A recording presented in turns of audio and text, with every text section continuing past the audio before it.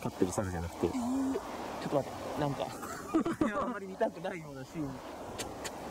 勘弁していただきたい。なんかオスとメスだったんだ、これ。い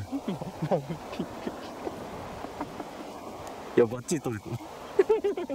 え、でもこ、これはなんか YouTube に上げたら、なんか YouTube のガイドラインに引っかかるのかな。